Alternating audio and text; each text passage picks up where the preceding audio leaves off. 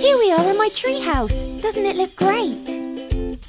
This is a game video and you use the hand on the screen to look round the room. Ask an adult to help if you're not sure what to do.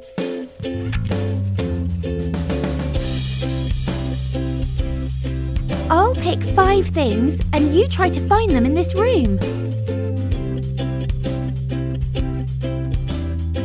Can you see a beautiful red mushroom with white dots? Some acorns? And a giant stack of branches and sticks? Can you find a slice of bread? And how about some walnuts? You found all five! Well done! See you on the next episode. Bye!